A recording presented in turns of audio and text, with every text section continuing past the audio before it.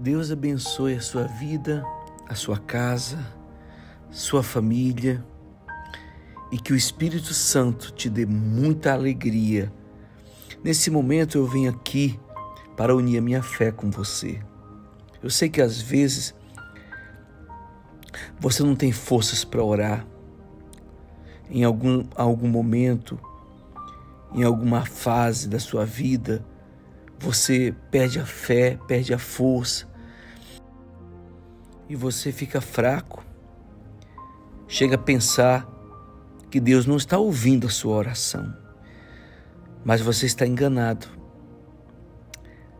Deus diz assim: ainda que uma mãe ela venha se esquecer do filho que ainda a amamenta,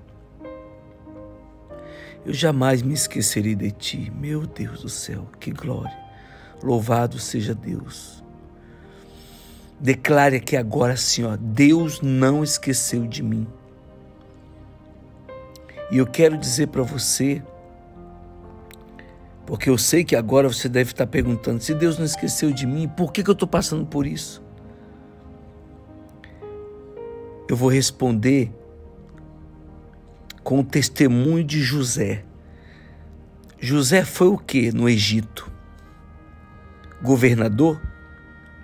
o próprio rei, não é verdade? Com a autoridade do rei, a autoridade de todo o país na mão dele. Mas o que, que ele passou para chegar a isso? Então, nesse processo, nessa fase, nesse momento, não se desespere. os ricos, meu pai, não perca a esperança e caminha. Estão. Pega um não olha para trás, não olha para baixo, olha para frente, olha para cima, olha para Deus. Eu quero agora declarar sua cura, declarar sua vitória, declarar a saúde. Senhor, não há nada impossível para ti.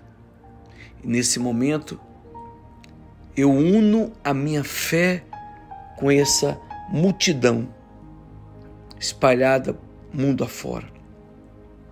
Essa oração vai chegar para alguém que está precisando desta palavra dessa esperança, dessa força, precisando dessa mão forte. E eu sei que o Senhor pode salvar. Então, meu Deus, toca nela, salva ela. Em nome do Pai, do Filho e do Espírito Santo, eu te abençoo. E quem crê, diga amém. Respira fundo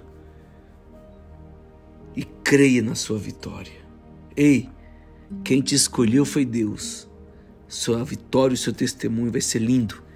Deus abençoe e compartilhe com seu próximo.